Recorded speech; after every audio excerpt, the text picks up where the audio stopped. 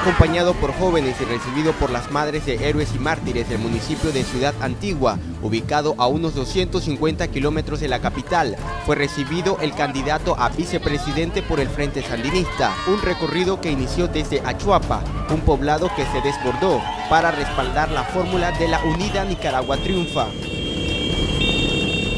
El respaldo de jóvenes al general Moisés Omar Ayesleven durante su caminata fue notorio.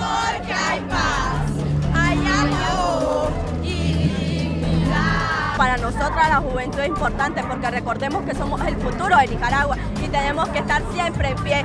Y hoy ustedes jóvenes también están asumiendo ese reto, también están en el presente asumiéndolo para llevarlo al futuro reciente, hecho una realidad.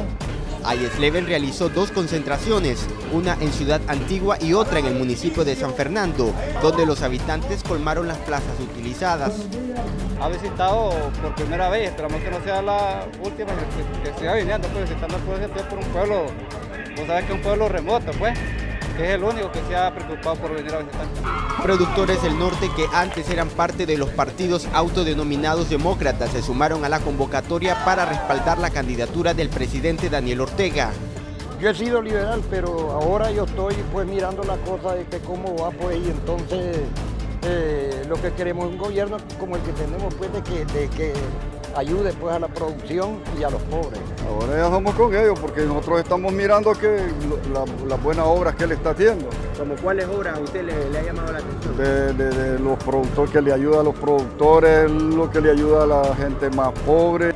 En San Fernando, los pobladores han sido beneficiados con bonos productivos, plantecho, operaciones oftalmológicas, viviendas y construcción de caminos productivos. otros compromisos hoy por la tarde. He tenido la oportunidad de ver cómo ayudan a mucha gente pobre, a mucha gente que en verdad lo necesita. Y es ahí donde he abierto mis ojos y he decidido darle mi voto al presidente Ortega y a nuestro presidente Omar.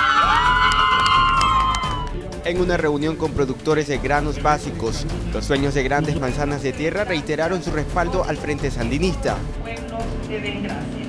En este encuentro intermunicipal con productores de este lado del país, Alex Leven aseguró que de llegar a la vicepresidencia continuará impulsando programas económicos para beneficiar a los pequeños y medianos empresarios de la zona. Con imágenes de Ronald Ruiz, para Crónica TN8, Oscar Morales.